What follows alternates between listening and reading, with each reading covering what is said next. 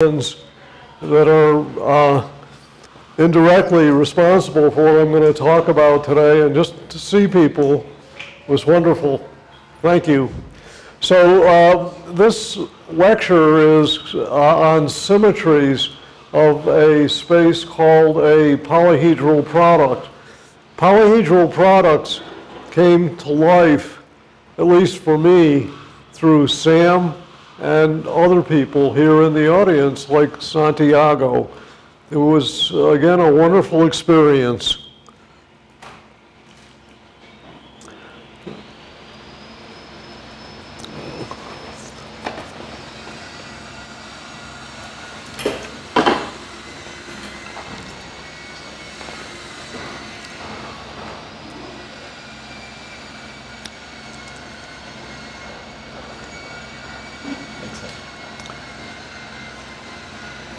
Okay, let's see if I can get it to work. Just move left and right. And Okay, then right. It. good. Right. Thank you. So um, the ingredients for polyhedral products are just a pair of spaces, x comma a, where a is a subspace of x. And then the second ingredient is that um, k is an abstract simplicial complex. Um, the main subject of this lecture is properties of a space called ZK. Um, is there a, a, pointer or a, a stick? Maybe I could try this. So this space uh, ZK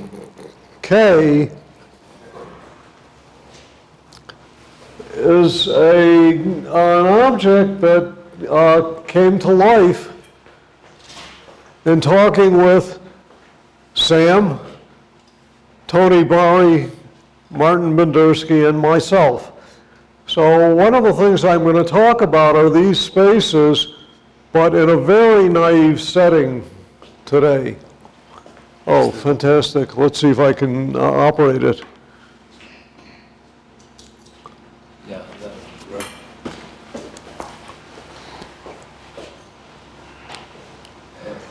Yeah. uh, That Hi, Jacob, I need a quick lesson here. Which button is it? Oh, there, it- oh, got it. Thank you. It's been five years since I've given a public lecture. This is the first time I, uh, been doing this in quite a while, and somehow it's a little intimidating, but fun. Um, so, um, the, uh, problems that we're going to talk about today involve just naive symmetries and uh, how they connect with each other. Um, some of this represents work of the, in the thesis of uh, Ali Al-Raisi in 2014.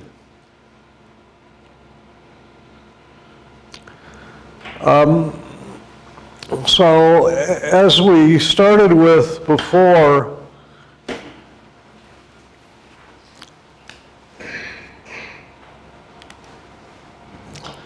the pair XA is a pair of simplicial complexes.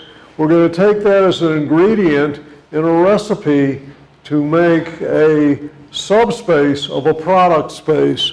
In particular, we're going to let K be an abstract simplicial complex, and um, um, the vertices of K will be denoted 1 through M. And now, um, a K consists of a subset, a collection of subsets of the set 1 through M, which satisfies the standard hereditary property. So um, now, um, the polyhedral product functor uh, or moment angle complex turn out to be exactly the same thing. Santiago Lopez de Medrano studied these kinds of uh, spaces in the 1980s, where they were known, I, I think they were known as moment angle complexes in those days. No? What, are you- oh, okay, so that's not right. Intersections of what? Um, Intersections of what? Uh, That's, well, yes, for sure, for sure. So uh, the definition of ZK is a union of products, namely, let D sigma be a product of spaces Y sub i, where Yi is either X if I is in the face sigma, or Yi is equal to A if I is not in sigma. So this gives you a collection of spaces. Again, it's a naive collection of spaces that you might wonder why, how and why they're interesting. Um, so Santiago, for example, started studying these spaces to understand the intersection of two quadrics, which when I was a student, I thought, well, you could just do this. And I learned that this is a very subtle and interesting subject after that. Um, so this lecture is going to be uh, addressing the spaces zk of xa, where x is usually the unit interval and A consists of the endpoints of the unit interval, namely S naught. Now, last night when I was talking with Santiago, I was tempted to call these the uh, sliced tongue theorem. And um, uh, the reason for that is I met Santiago for lunch one day where he had a sliced tongue sandwich and he was explaining to me why the cases of x equal the unit interval and a equal to s naught is so important. I didn't understand it then, but I'm slowly understanding it in a better way. Um, so uh, here's an example. So suppose K is a simplicial complex with two vertices and no edges. So it's just two points. You could ask what zk of d1 and S0 is. So as is written down, this is d1 cross S0 union S0 cross d1, which is the boundary of the interval cross the interval or a circle. And so you think, well, if you're a first year graduate student in mathematics, you probably know this inside and out. You could ask, why is it possibly interesting? Um, well, um, a similar construction works where the pair XA is the n-disk modulo its boundary. And in that case, the space, this polyhedral product, is the 2n minus 1 sphere. Um, so what we're going to do in this lecture is construct a few more naive examples to try to see if they have something interesting attached to them. Well, the uh, first case we're going to look at is where again XA is D1 and S naught. That's part of the sliced tongue theorem. Um, and Kn was the simplicial complex, which is the boundary of an n-gon. So it just has uh, n vertices and n edges. So uh, uh, let me see if I can.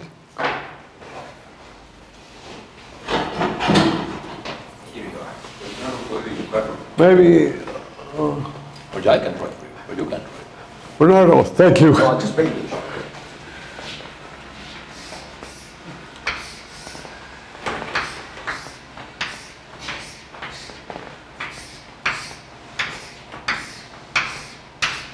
So there are various cases of N-gons. There's a four-gon, a five-gon, and a six-gon. So what we're going to do is look at those simplicial complexes, just the boundary of the N-gon, and um, a theorem that dates back to Coxeter in 1938 is that Is there? that the space ZKN is a Riemann surface of genus G, where the genus is 1 plus n minus 4 times 2 to the n minus 3. Um, Now, um, most of what I'm going to talk about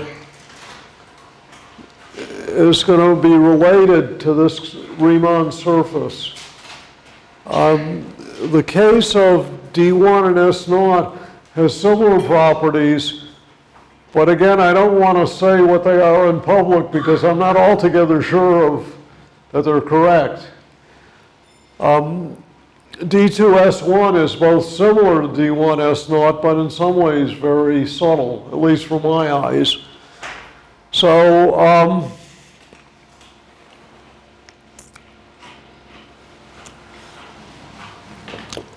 Here are a couple of examples. So the first example is S1 cross S1, which we all know is the surface of genus 1. And if we use the 5-gon, ZK of the 5-gon uh, gives a surface of genus 5. I should throw in another remark.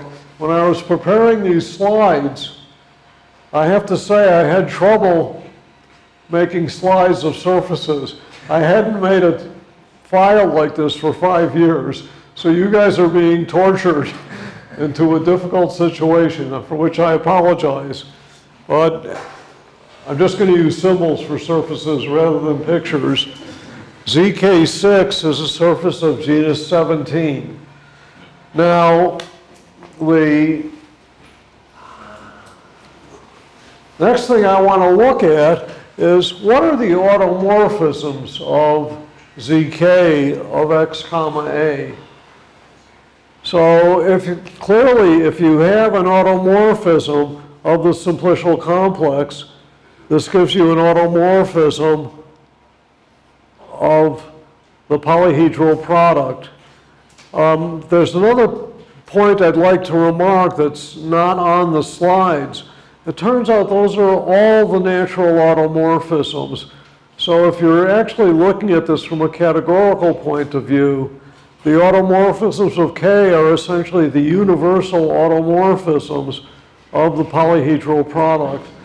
So my student Ali Al-Raisi had a project, and that is to try to understand a little bit of how the automorphisms act on the polyhedral product.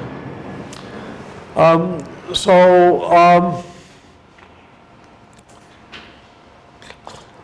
let's consider the cyclic group of order n, C sub n.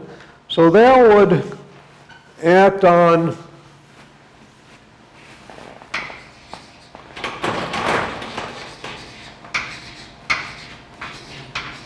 So there are one, two, three, four, five, six vertices. Z6 acts by just rotation. So it acts in a very elementary way. So now what I want to investigate a little bit is what do you get from that very naive action? And it turns out that this was studied um, even before Coxeter. Um, it was um, studied by a person who did mathematics, but was a colonel in the French Foreign Legion. And what he was interested in was trying to study necklaces. So let me say what a necklace is. You might start off with the n-gon. and now you might have two kinds of beads. You might have a black bead and a white bead, and so you might have a white bead, a black bead, another white bead. Does that make sense? So you have beads with two colors. Uh, my wife was here, she wouldn't be happy about this. I asked if I could borrow some beads for this lecture, but I'm not going to say what the answer is. Um, So what Moreau was looking at were these n-gons with two colored beads and asking uh, how many are there up to equivalence, where equivalence is rotation, how many distinct equivalence classes are there, how many primitive necklaces there are, where a primitive necklace is one where if you rotate it, you look at the rotations, you get all distinct necklaces. So he was counting those. And it turns out what he was really doing was looking at what Santiago was suggesting. He, after the fact, was looking at the polyhedral product for the n-gon. So these go back a long time, and it, uh, there'll be an example shortly where you'll see they go back even further. Um, so the next thing I wanted, or asked Ali to look at was, um, you have these rotations. So for example, the cyclic group of order four acts on the four-gon. And so it acts on the polyhedral product. So you can ask, what is the orbit space? I think Santiago already knew some of this before Ali started playing with this, but um, I can't say for sure. You'll have to tell me afterwards. Um, so um, the orbit spaces are kind of interesting. Uh, in the um, genus 2 case, what you get is a torus modulo an action of Z4, and it turns out it's not hard to check that that quotient is the two sphere. And um, the uh, quotient of the genus 5 surface by Z5 is a torus. And um, well, the case of n equal to 4 actually in a way goes back to Felix Klein. So Klein was the first one, as far as I know, to observe that the uh, third braid group maps onto SL2Z. And it turns out that um, these naive projection maps from the polyhedral product No, it's this one, it's this machine. No, it's this one, this one.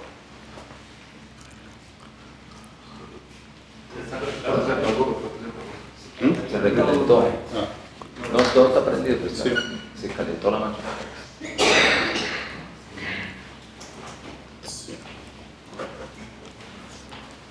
Did I? Está. The machine turned itself off.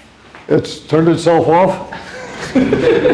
I'm not sure what that means, but I may be in big trouble. Pictures and no letters. Everything has a solution. So, since it's off, um, these are ramified covers. These are ramified covers. They're a special class. We'll see why in just a moment. So these connect with some work that you did with Miguel and Ernesto. I'll say how. later, uh, in the lecture. That's from, from, from, from, from the constructions. Where are the fixed points? So if I- if So I'm going to say, I'm going to give you a way to calculate the number of fixed points, but there's something you need to know. I don't know the answer in a closed form. They're given in terms of values of something called the Mobius inversion function and the Euler phi function. But, but, but the, the action of the cyclic group is free. No, But, it, but in the, in the, so, in the, so in we'll look at what happens with, the, the oops, let me get a, uh, but in the n-agon is free. oh, could I borrow the eraser? But let me just. Oh, oh. So you don't have to put it in your, in your hands. Eh, me busco un sitio para poner esta cosa. Me voy a robar esta cajita. ¿Tiene algo de eso? Sí. Soporte para el.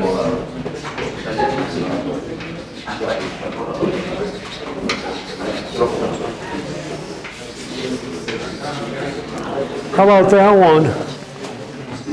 Ah, it has E. So it turns out that the, any subgroup of Z mod NZ is the isotropy for some orbit. But if I take a prime, If you take what? a prime number, If you take a prime, they're simpler, but still not so simple. So it turns out there are two fixed points, and the rest is free. but Oh, since they are making this happen, nobody said the machine with okay. So, but, I think I'm going to press this just to keep the computer awake. but what I, what I don't understand is the action of the group is free on the synclination. It's, it's free on the simplicial. So how come it's? Let's do it on paper. Oh, Okay. Have to do it. Okay. Meanwhile, uh, Try and do it for S1 cross S1. You'll see that you get this, uh, essentially a, a twofold branch cover of, uh, uh, S2. So it's like the so hyper, the 90 degrees. right, you take a surface, and give it a half twist. Uh-huh. When you do that, it's like a- barbecuing a sausage. So get, and so what you get is 2G plus 2 Weierstrass points. Uh-huh. Let's do it on paper. No, Okay. the, the computer is back. Okay. So, um, maybe let's push on to the next slide. And the second question is, these periods mean that if I put any n, the answer is genus n? Right, Ah, okay. right.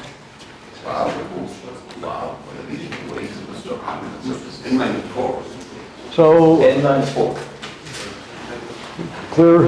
Yeah, yeah, that's, how going to say more, you, uh, clear, which is closer to what you, you did with these other guys. Very interesting. So, um, you could consider that branch cover. In other words, just look at the orbit space, and it turns out that, um, um, this quotient space is again a Riemann surface. And you can ask, what is its genus? We worked out a couple of them, and it was relatively easy to work out a few of them. At the end, I'm going to give a formula. No? You're not happy? Okay. At the end, I'm going to give a formula. I don't know a closed formula for the genus of the surface, but we're going to see certain interesting things come up with this that's related to Moreau's work on necklaces as well as other things. Um,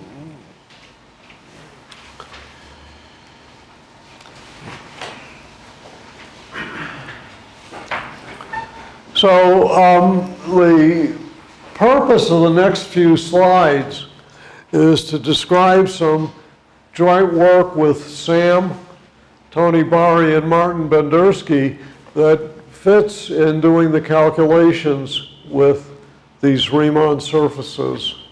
So um, I can't remember when this was, it maybe was 10, 15 years ago when Sam walked into the office and said, let's try to read about these things. And we did.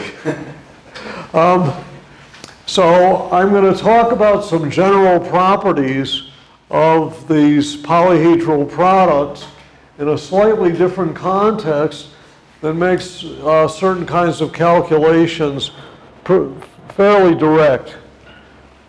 Um, So the polyhedral products, these spaces ZKs, are nothing more than natural subspace of a product of X with itself n times, where m is the number of vertices in the simplicial complex K.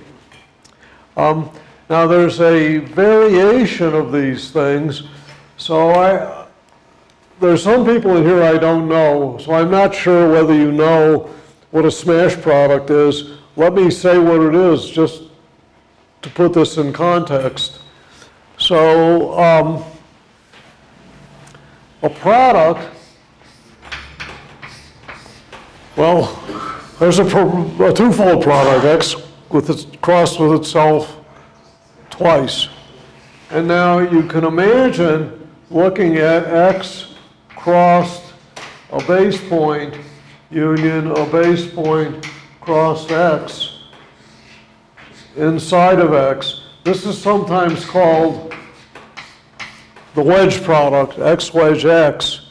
And then uh, one of the main things we introduced was this naive construction where you take X crossed X and collapse by X wedge X. And uh, so for an example, if you thought of um, S1 cross S1 modulo S1 wedge S1, this is the two-sphere. And one of the things that came out of this work with Sam, Martin, and Tony is that if you replace products by smash products, they tend to give you relatively easily accessible ways to understand these polyhedral products. Um, so, um, oh, I've already done this part. So we're going to think about something called a polyhedral smash product. Now, some of you might think this is a crude thing to do, and you're right. But it turns out that it does give you accessible information. So um, we're going to look at the smash polyhedral product, which is the image of the polyhedral product in X smashed with itself m times. And now, um, if X is the unit interval, then the smash product is a contractible space. So you might think it's perhaps not interesting. Well, let's see what happens. Um, so the first theorem that we used is a theorem that goes back to, to the 1950s by Peter Hilton. And what Peter Hilton proved was that if you start off with a product of spaces, x1 crossed x2 up to xm, and you suspend it, then that's homotopy equivalent to a suspension of a certain collection of smash products of x. So what this tells you is that a product somehow, after you suspend it, breaks apart into accessible pieces.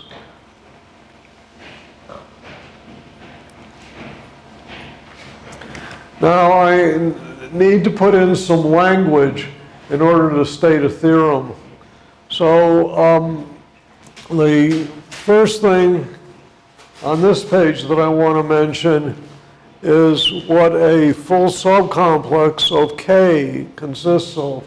So the full subcomplexes, that is K sub i, are just um, the vertices in I intersect with the face sigma, where sigma is a face of K. So this is a bookkeeping device. Did it make sense? Everybody's happy with that. Okay. Now,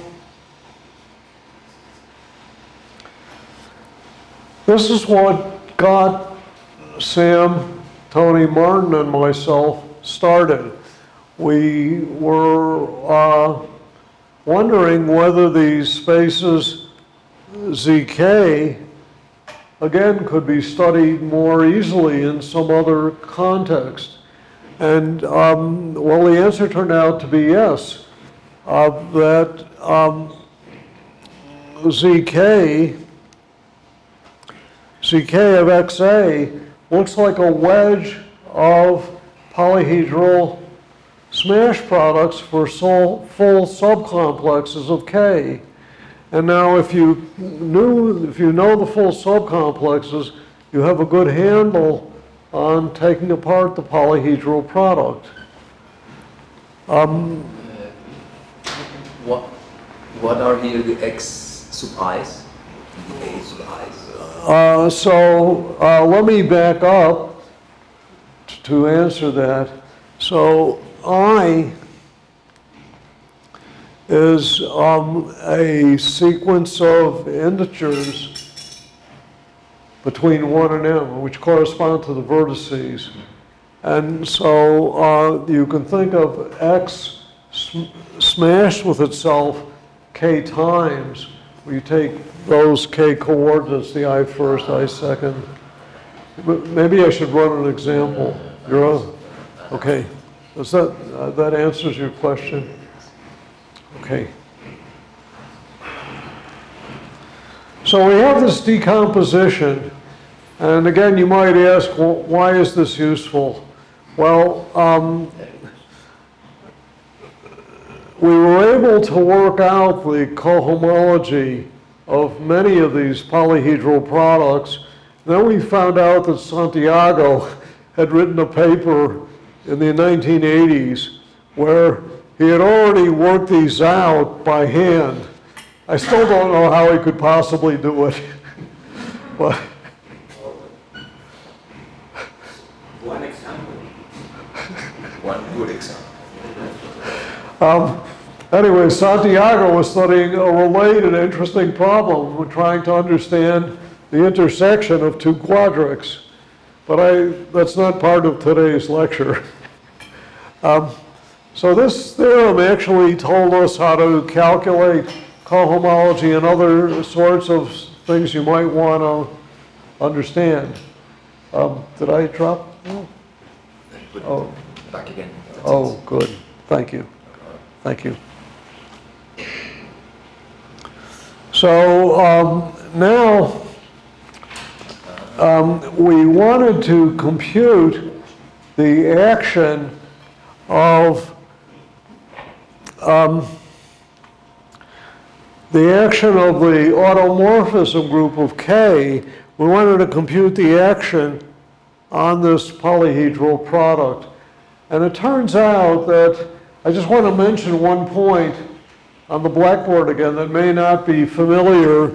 If you're looking at, um,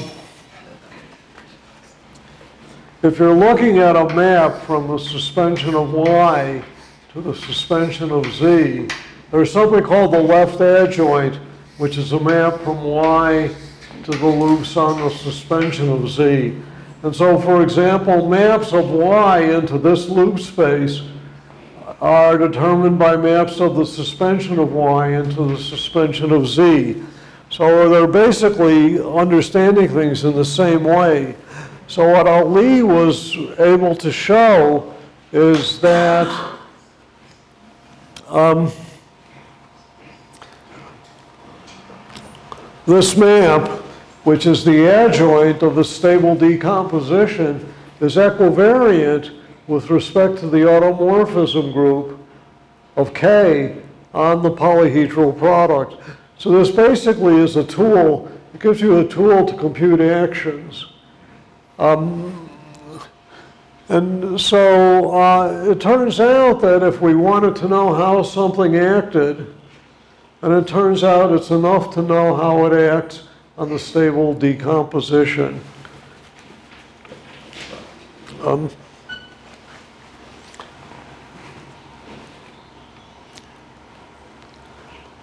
So this theorem of Ali's was first proven in his thesis in 2014, and then uh, two other groups of people have taken it up a little bit to understand the, just the representations that you get out. You end up getting some interesting representations of the automorphism group of K uh, uh, on this. And the auto, by the way, the automorphism group of K, in case K is just a graph, is any, any finite group at all. So you're studying fairly general groups in this setting. So for example, um, Fu and Gerbich uh, found applications to something called representation stability, which is something outside of the world of polyhedral products, but is in the world of representation theory. It's an interesting construction. Um, and uh, these last three people computed some associated representations. The reason I mention this is the representations aren't always what you think they are. They can sometimes be quite complicated. I think that will come up toward the end of the lecture. Um, here's an example. I was um, not sure whether to say what this is, but it turns out these maps these stable adjoints of stable decompositions are given by something that's actually very elementary. What you do is you think of the free monoid on words in the polyhedral smash products. So for example, if we start off with a point in uh, the polyhedral smash product with three vertices. So something pretty simple. You might ask what this adjoint map does. And what it does, it just takes these words, X, Y, and Z, and adds them up. And then you think of formal products ordered it in dictionary ordering. Add those up and continue that way. So you end up uh, getting a natural formula which tells you how to split this thing. Well, now I want to get back to uh, necklaces. So the, um, as I mentioned, we were trying to compute the first homology group of this polyhedral product, which is something you'd think you could give to a graduate student. It turns out it's not so easy. The first homology group is uh, non-trivial, and the value of the Mobius inversion function occurs in calculating numbers of orbits. Mu of d is the Mobius inversion function. Um, that, does anybody recognize this number? That's what? Which number? Oh, that This, uh, let's see, this number right here, 1 over n times sum of mu d times k to the n over d. The number of necklaces with n It's, of k different colors. it's what? Say it Number of necklaces with It's, I, I, so I, let me offer an apology first. I don't hear very well, so I- you may be 100% right, but I may not be able to understand it. necklaces with n beads k These are necklaces with two beads. Two beads. Yes, this one is, should have been uh, for, uh, this, this is an example of H1 for necklaces with two beads.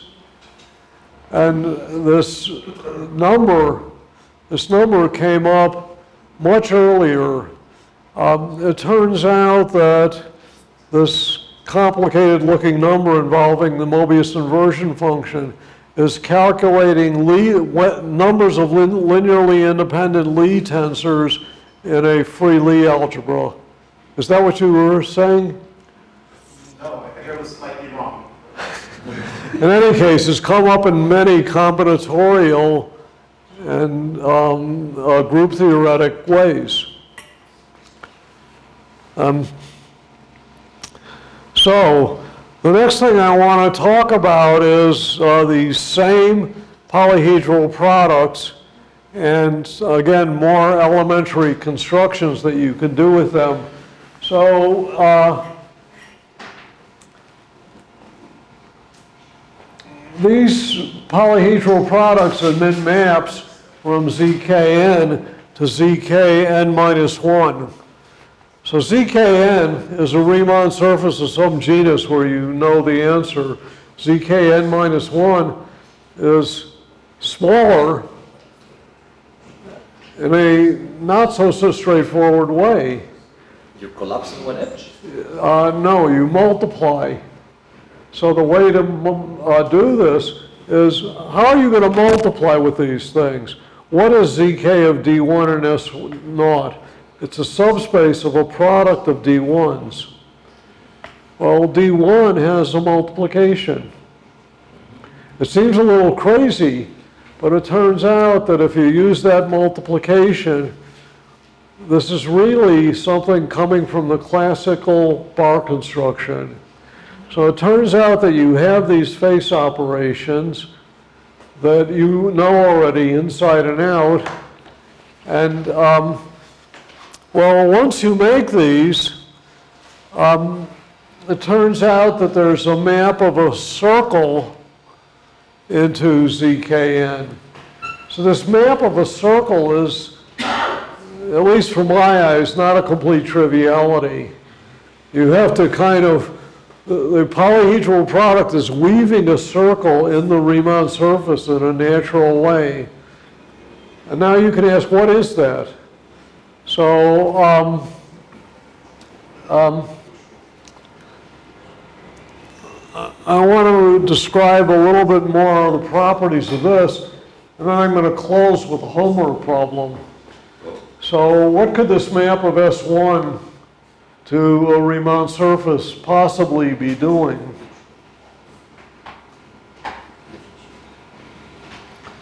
So um, it turns out there's another subject that some people in this room had already worked on. It's um, Alain Connes, Jean-Louis Loday, and others, including Ernesto Bernardo and Miguel Xicoténcatl worked on. Um, this construction of Alain Connes gave you something that builds models for free loop spaces and whose homology is measuring both Hochschild homology and cyclic homology. So it turns out that what this um, naive map of a circle, this naive map of a circle, together with the action of the cyclic group that we saw just amounted to taking an n-gon and rotating it, corresponds to a morphism of cyclic, that's where the Zn action comes in, semi-simplicial spaces. Now, one thing I want to mention, these are not simplicial spaces, they're semi-simplicial, which means you can use the face operations, but not degeneracies. So, um, uh, you get this map and you could ask, is it even interesting? Well, now I'm going to say a technical point that this map induces a map on the Hochschild homology of the tensor algebra, namely the homology of the free loop space. And you can ask what happens with this naive map into the polyhedral product. And it turns out that the um, uh, uh, free loop space has homology that splits into two pieces. One is an invariant part, and another is a co-invariant part. And it turns out that this map is picking out exactly the co-invariant part, and it's sending the invariant part to zero. It's trying to split the homology of the free loop space. So I don't, I have to say, I don't understand what was going on with this. And so my inclination for giving this lecture was to give a homework problem. It turns out that this polyhedral product, the way we described it, has a geometric realization. It's got to be an interesting space. All, all of its homology involves classic combinatorial integers. Um, does it somehow give rise to a natural space that you can understand in more natural language? Um, so uh, I've already mentioned this stuff. This is about uh, the image of Hochschild homology of the tensor algebra. So I guess the main point of this was this was a very naive construction that came up from a conversation with Sam when he just wandered into the office and asked a naive question. Um, there's one last remark I want to make. I'm not putting in any details. So topologists of my stripe and many topologists in this room have studied the classifying space of a topological group. And it turns out these polyhedral products give yet a new filtration of a classifying space. So, uh, oh, thank you, Bernard. It turns out that um, if you look at the suspension of a loop space, there's an evaluation map, and that simple map, if you can understand it, usually has a lot of strong implications. It turns out the polyhedral product is filtering that map in a nice way, but I don't know what kind of consequences you get yet. Again, these are naive, but come up in a very interesting way. Um, I wanted to give a curious identity and then I'm going to quit. Here are some numbers involving the Mobius inversion function. You could ask where this comes from. This is on uh, my student Ali's thesis, and what he did was he compared the homology of two polyhedral products. It's giving you sort of these combinatorial number theoretic identities. We still don't know the meaning of those, but again, it, it's compelling. Thank you very much. It's a pleasure and an honor to be able to participate in this. Thank you.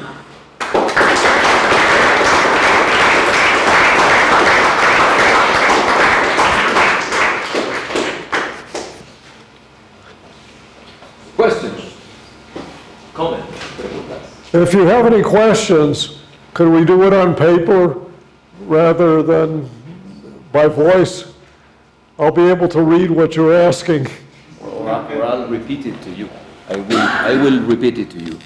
Okay, I'll try to understand. Just a comment. Um, 38 Coxeter found the formula, first, first one you mentioned, about the about the moment angle spaces of the polygons. And uh, then in the 80s, Hirtz group found the same formula for an- certain intersections of quadrics that appeared to him studying some algebraic uh, number theory and algebraic geometry. And it's the same formula. And it's only a lot later that it was, it was discovered that they were the same thing, that the intersections of quadrics and monotactile. Oh, What uh, Coxeter did was late, late, much later recognized as a precursor of uh, monotactile. So So only at the end of the nineties it was discovered that they were the same thing. So it's the So could, could you, s- So it was a comment that uh, what Coxeter did in the 38, was what? what one of these formulas that you have was discovered by Coxeter in the 30s. Oh, yes. So Coxeter actually was trying to answer a surf, a question about Riemann surfaces. And so what he did was essentially construct the polyhedral product to do that. So For me, it's the Coxeter Hirzebruch formula. No, no, he didn't do any calculations. He was essentially discovered the polyhedral product in some form. Uh, and then it it appeared in 1938. There was no calculation there? No, there was no, it was a- basically a gym, I don't, let's see. I I better Yeah. not go there. ¿Alguna otra pregunta? ¿Comentario? Si no, muchísimas gracias, Fred, por la Thank you. Very much. Beautiful. So next